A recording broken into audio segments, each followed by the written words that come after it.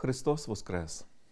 Дорогі в Христі, брати і сестри, ось минає уже 117-й тиждень Великої війни, яку ми називаємо повномасштабним вторгненням Російської Федерації на нашу мирну українську землю. Цей тиждень ми назвали світлим тижнем, тижнем пасхальним, коли ми усім українським народом разом співали Христос Воскрес. Але цей тиждень справді був кривавим для України. Збільшилася інтенсивність бойових дій майже вдвічі. Ворог е, атакував український кордон знову на е, межі е, нашої Харківської області. Ворог, начебто, відчуває, що закривається вікно його можливостей вести війну в Україні, що Україна готується перемагати. І тому в тих днях, наче подвоює свої вбивчі дії на території нашої батьківщини. В ніч на 8 травня ворог здійснив чергову масовану атаку на енергосистему України, атакуючи е, енергогенеруючі і розподільчі е, структури е, нашої батьківщини на півдні, центрі нашої батьківщини, навіть на заході України. Знову лється невинна людська кров, знову страждають невинні люди в містах і селах України починають вводити віялові відключення електроенергії, зокрема у вечірній час. Але незважаючи на зростаючий тиск, на те, що ворог шаленіє е, в Україні, ми хочемо, щоб вкотре увесь світ знав і чув, що Україна стоїть, Україна бореться, Україна молиться. Харків весь тиждень був під щільним вогнем окупантів. Сигнали про небезпеку не встигають вимкати. Майже десяток загиблих цього тижня, кілька десятків поранених. У Дергачах росіяни атакували кабами територію біля спортивного клубу. Вісім дітей поранені.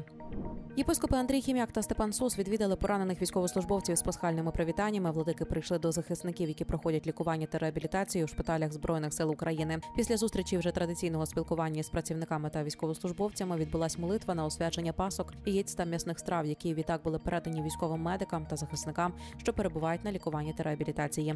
На Пасху єпископи УГКЦ доставили на передову три автомобілі швидкої допомоги. Відбулась духовна місія єпископів помічників Тернопільсько-зборівських Української греко-католицької церкви Теодора Мартинюка та Володимира Фірмана на передову. З нагоди празника Пасхи архієреї у супроводі військових капеланів відслужили для бійців богослужіння Страсного тижня та Великодня, уділили святі таїнства, сповіді та святого причастя. Було доставлено різного виду допомоги, великодні страви та паски, які відразу було освячено. пояснено.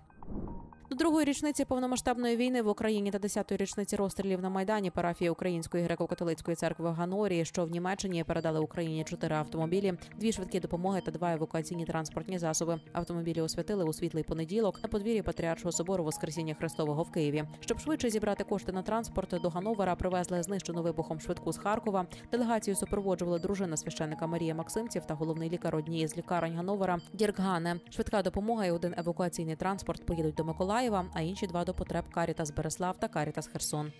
Командувач сухопутних військ збройних сил України генерал-лейтенант Олександр Павлюк нагородив главу ГКЦ хрестом сухопутних військ. Відзнаку командувача главі церкви в його резиденції прочила очільниця капеланської служби командування сухопутних військ збройних сил України, полковниця Лариса Полянська. Нагадаю, що 5 травня у свято Воскресіння Христового блаженніший Святослав відзначив також своє 54-річчя. Глава ОГКЦ очолив святкування десятиріччя одеського екзархату в храмі святих Петра і Павла у місті Южне. У цей день також вітали владику Михайла Бубнія із 10-ю річницею єпископської хіротонії. Під час літургії з главою церкви співслужили апостольський нунцій в Україні архієпископ Вісвальдас Кульбокас, єпископ Київської митрополії, ОГКЦ та численне духовенство. Предстоятель закликав вірян до щирої молитви за людей, які там живуть, та за швидке звільнення окупованих земель одеського екзархату. Ворог запустив по Україні 55 ракет та 21 безпілотник. Від нічної атаки постраждали сім регіонів України. У броварах, що на Київщині, двоє поранених на Кіровоградщині постраждала дитина. Під удар потрапили енергооб'єкти, майже 30 житлових будинків, громадський транспорт і авто. У Запоріжжі пошкоджена будівля пожежно-рятувальної частини. Отець і глава Української греко-католицької церкви Блаженніший Святослав відвідав Кропивницький та очолив літургію в храмі Різдва святого Івана Хрестителя. Блаженніший Святослав подякував присутнім на літургії за те, що тут у Кропивницькому живуть життям учнів Христових та у своїй праці у волонтерській діяльності показують, що Христос воістину воскрес. У світлий четвер отець глава ОГКЦ Блаженніший Святослав здійснив душпастерський візит у Черкаси. І Під час проповіді в храмі Покрову Пресвятої Богородиці предстоятель запевнив, що списки полонених людей із Черкас передав особисто в руки папі римському, а також у тому, що наша церква докладає максимальних зусиль, щоб звільнити полонених українців. Опісля божественної літургії предстоятель УГКЦ поспілкувався із переселенцями, які отримують допомогу і стали парафіянами Української греко-католицької церкви в Черкасах. Цього тижня, в п'ятницю, 10 травня, відбулася дуже глибока і важлива зустріч. Зустріч президента України пана Зеленського з очільниками і епископатом двох українських церков нашої Української греко-католицької церкви та Православної церкви України. Нам дуже було важливо не лише почути е, пасхальне вітання з уст президента, але почути від нього справді глибокі визнання ролі і важливості присутності і служіння церков України нашій батьківщині, нашому народові. Президент визнав, що церкви є критично важливі для здатності нашого народу продовжувати боротьбу, вистояти в тій нерівній бурні. Важливість церкви для того, щоб українці ані на хвилину не перестали сумніватися в тому, що Україна переможе. Спілкуючись з паном президентом, е, ми відзначили важливість місії, зокрема нашої української греко-католицької церкви на чотирьох фронтах нашої борні. Очевидно, що один із найважливіших елементів служіння церкви це є присутність нашого духовенства поруч з українськими воїнами. Президент подякував за віддану працю наших військових капеланів, але вкотре сказав, що їх замало. Є велика потреба, є запит українського війська на духовний душпастерський супровід наших священників. Другий важливий напрямок праці церкви це гуманітарний фронт.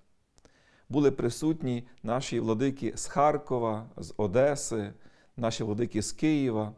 І ми справді могли е, розповісти пану президенту, яким чином ми справді створюємо необхідні осередки соціального служіння, де за тих більше як два роки війни е, десятки тисяч українців отримали невідкладну гуманітарну допомогу. Наприклад, у Харкові щотижня тисячі людей отримують необхідні засоби для існування, щоб вижити в складних умовах війни. Без такого соціального служіння церкви, е, яке організовує допомогу з цілого світу для постраждалих від війни в Україні, українцям вижити було би надзвичайно складно, а часом навіть і неможливо. Ще один дуже важливий е, фронт, важлива діяльність церков це є зцілення ран війни. Пан президент визнав, що е, для того, щоб Україна перемогла, замало лише із зброєю в руках відстояти нашу територіальну цілісність. І дуже важливо справитися із травмою, яку ця війна завдає нашому народові. І тут роль церков без перебільшення є незамінною. І я розповів про ті програми зцілення ран війни в різних аспектах нашого церковного соціального буття, які вже сьогодні здійснюються у нашій церкві, е, для того, щоб ті рани залікувати, які будуть боліти ще десятиліттями, навіть тоді, коли війна закінчиться. Ще один надзвичайно важливий вимір нашого служіння це є опіка наших братів і сестер, які через війну опинилися поза межами своєї батьківщини а, то, а також адвокація України перед широким міжнародним співтовариством. Ми розповіли, яким чином ми, як церква, є присутні на різних континентах земної кулі. І намагаємося все робити, щоб світ не забував про Україну, щоб правда про війну в Україні ширилася і перемагала російську е, пропаганду ідеологію. Для того, щоб справді ми разом могли знайти шляхи і навіть необхідні формули для справедливого миру в Україні, для того, щоб примусити агресора зупинитися, для того, щоб нарешті справедливий мир за підтримки широкої міжнародної спільноти все ж таки прийшов на багатостраждальну українську землю. Сьогодні друга неділя травня. Традиційно в Україні цей день є Днем Матері. Я сьогодні хочу сердечно привітати усіх матерів України з цим всенародним днем, з тим особливим моментом і нагодою сказати українській мамі: мамо, дякую. Дякую за дар життя. Дякую за дар християнської віри, яку ти мені передала. Дякую, мамо, за Твоє чування над моїм життям, за Твої сльози і молитву за мене. Сьогодні материнство в Україні є зранене, зокрема війною. Скільки матерів України вмиваються тепер сльозами, прощаючи своїх синів, які йдуть на фронт, своїх дочок, які йдуть на передову захищати свою батьківщину. Скільки матерів проведуть і проводять без сну довгими ночами, просячи у Господа Бога порятувати їхніх дітей з полону, відшукати тих, які пропали безвісти, зцілити тих, які є поранені. Українська мамо, ти, яка сьогодні втратила свого сина і доньку на війні, прийми нашу вдячність, прийми наш уклін, нашу шану і нашу молитву. Ми сьогодні молимося до Господа Бога словами нашого пророка і великого поета Тараса Шевченка, який висловлює нашу віру в те, що ми разом переможемо, і на оновленій землі врага не буде супостата, а буде син і буде мати і будуть люди на землі. Благословення Господнє на вас, Його благодаттю і людинолюбієм завжди, нині, повсякчас, і на віки віків. Амінь. Христос Воскрес, воістину Воскрес!